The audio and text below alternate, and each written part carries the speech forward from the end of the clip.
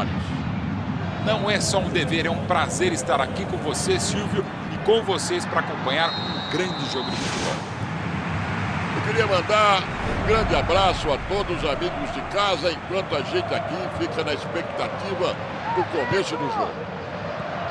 Hoje iremos acompanhar as emoções de Atlético Mineiro e Atlético Paranaense.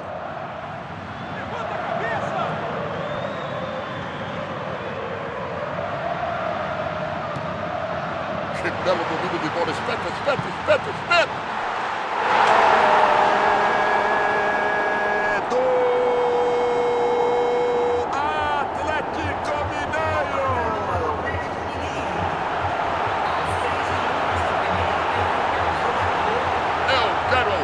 É Mauro Betti, mais conhecido como Cabelos ao Vento, sobre esse gol. O que, que você achou? Na cara do gol, você acha que ele ia errar? Claro que não.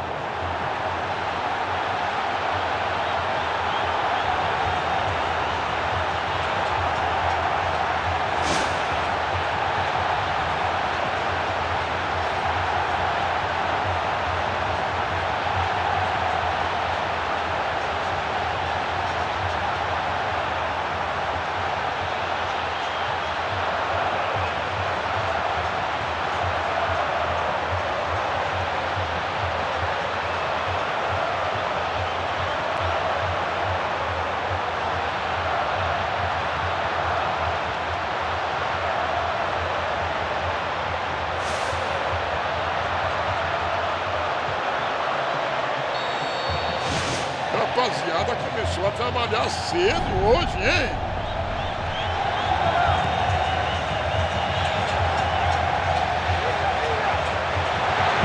Lá vai o Charutão. Teve uma bela chance, mas perdeu.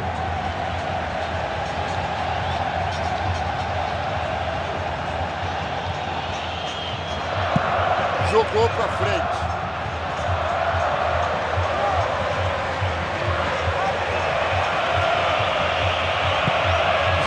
Bola ali na direção da cozinha do adversário.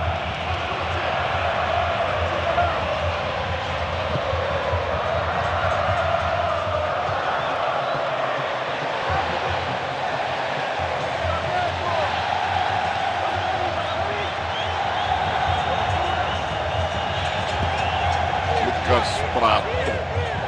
Agora ele já mandou a bota. Mandou uma sapatada. Um gol gostoso de narrar. A moçada entrou com tudo, já estão dois gols na frente. Todo mundo estava sabendo que era perigoso fazer isso. Aí fizeram assim mesmo. E daí deu no que deu. Anote a lição de moral e futebol. Muitas vezes quantidade não significa qualidade. Tinham 300 jogadores